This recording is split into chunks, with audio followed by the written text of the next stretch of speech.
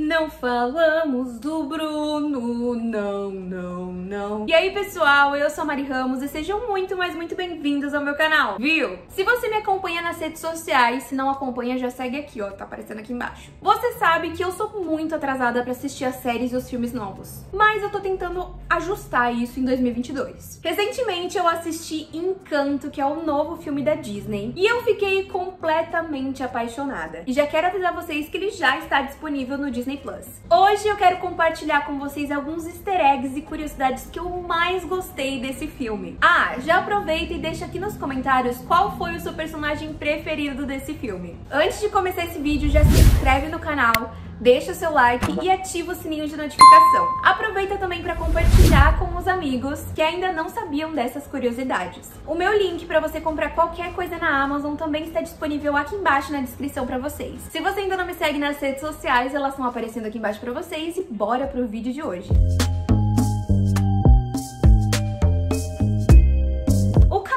Se tornou um dos meus personagens favoritos também de Encanto, mas é muito difícil a gente escolher um favorito só, né? Porque cada um tem a sua qualidade e cada um tem a sua importância na trama. Esse easter aqui é bem legal, é quando o Camilo tá recebendo o pessoal da vila pra entrar na casa de Encanto pra cerimônia do Antônio. E ele vai se transformando em cada pessoa que entra na casa e uma dessas pessoas é uma senhorinha com duas trancinhas que se parece muito com outro personagem de filme da Pixar que é a avó do Miguel, de Viva a Vida é uma Festa. Olha como a roupa é bem parecida também, além do penteado do cabelo. Eu não duvido nada. Na música da Luísa também aparecem várias referências, como por exemplo, essa referência do Titanic, que tem até a banda de burros ali tocando igual o filme, né? Enquanto as pessoas tentam achar a salvação. Temos também uma referência ao filme de Hércules, quando ela fala que ele não poderia falar que ele não queria lutar com o Cérebro.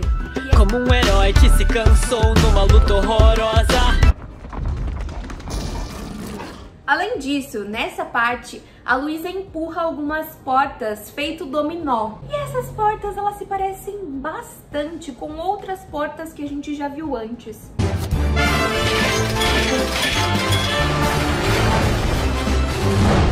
Vocês não acharam? A personagem Isabela, que tem o poder das flores, ela pode ser comparada com a Elsa.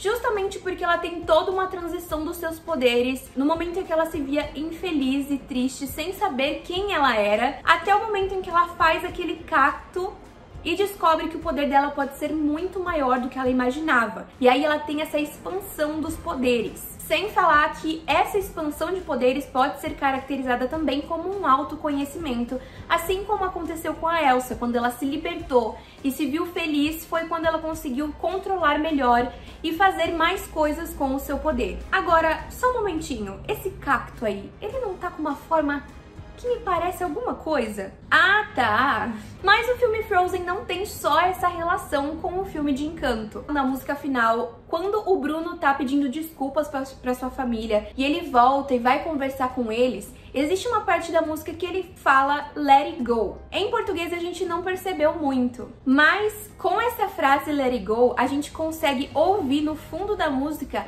algumas notas da música Let It Go de Frozen. Olha só, presta atenção. Aumenta o som aí. Não se esqueça, por favor, do valor desse amor. Se chover, garoar, se nevar, chuviscar, é amor. Eu vou com ela, amor. Se chover, garoar, se nevar, chuviscar. Depois que eu descobri essa referência, eu fiquei, meu Deus, gente, eles são gênios.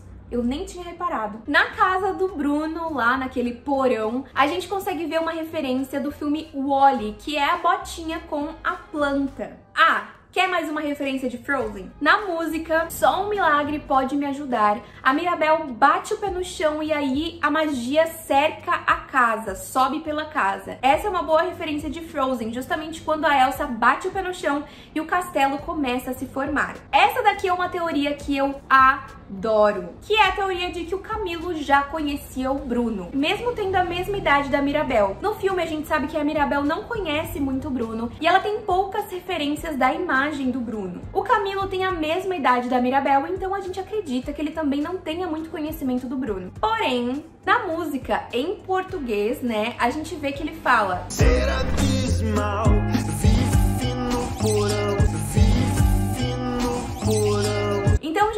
perceber que talvez ele saiba onde o Bruno está. Mas o ponto ápice de tudo isso é o poder do Camilo, já que ele consegue se transformar em outras pessoas. Mas naquele esboço também já liberado pela Disney, a gente descobre que ele também consegue se transformar em animais, provavelmente mesmo isso não aparecendo no filme. E o animal que ele se transforma é justamente uma capivara, que ele pode se transformar em uma capivara. Tem essa referência da capivara que eu já vou falar pra vocês, mas se ele pode se transformar em capivara, ele também pode se transformar em um rato, que basicamente poderia entrar dentro da casa e encontrar o esconderijo do Bruno. E aí então descobrir onde ele está. Por isso que a referência quando ele se transforma no Bruno na música é tão forte, porque ele já conhecia o Bruno agora depois de tantos anos. E nessa cena aqui, onde o Bruno está com a Mirabel, tentando reformular aquela visão que ele tinha visto ela na frente da casa, olha o bicho que tá junto com eles lá no círculozinho. Será que aquela capivara é o Camilo? Tem o mesmo olhar, gente. Ah, essa daqui também é uma das minhas preferidas, que é quando o Bruno aparece lá atrás, durante a própria música dele, Não Falamos do Bruno. Ele aparece bem lá no cantinho, quase imperceptível. Quando assisti pela primeira vez, eu não vi, mas depois eu vi várias pessoas mostrando esse vídeo na internet e aí ficou muito claro pra mim. Poderia ser o Bruno, mas também poderia ser o Camilo, que era o próximo que ia cantar na música e ele já estava caracterizado de Bruno, né? Você sabia que...